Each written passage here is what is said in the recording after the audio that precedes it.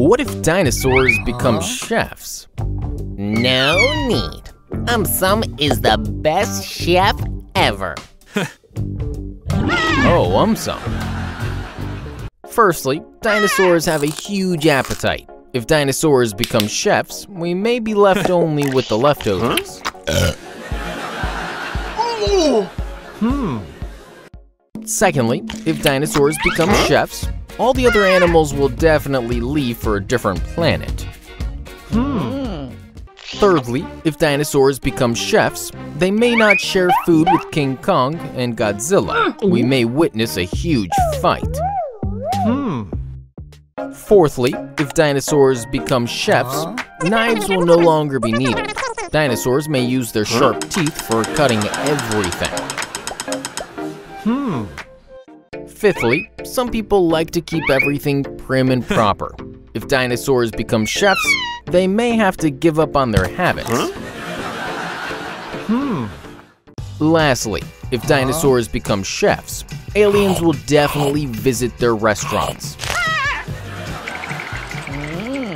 To buy AumSum merchandise, visit aumsum.com. What if we had tentacles like an octopus? Wow, now I can have so many burgers. Oh, um, some. Firstly, if we had tentacles, some people will be able to complete many jobs at once. Bosses would be very happy. Hmm. Secondly, if we had tentacles, basketball might have to change its rules. Many balls might be used in a single game. Hmm. Thirdly, if we had tentacles, in order to get all the tentacles strong, bodybuilders might need to spend the entire day at the gym. Hmm. Fourthly, if we had tentacles, villains would run away from us. Superheroes might take up a new job. Hmm. Fifthly, if we had tentacles, thieves would be extremely scared. Cops will be able to catch them very easily. Hmm. Lastly, if we had tentacles, some people might start eating multiple food items at the same time. These people might gain weight. Hmm. What if everyone starts skateboarding? Cool. Now I can show my skateboarding skills. Oh, I'm so. Firstly, if everyone starts skateboarding, young generation would be very happy. They will finally get to show off their skills.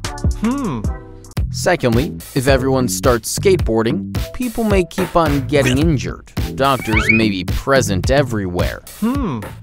Thirdly, if everyone starts skateboarding, learning skateboarding takes a lot of time. Some people may give it up. Hmm.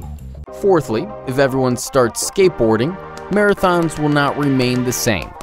People will start skateboarding instead of running.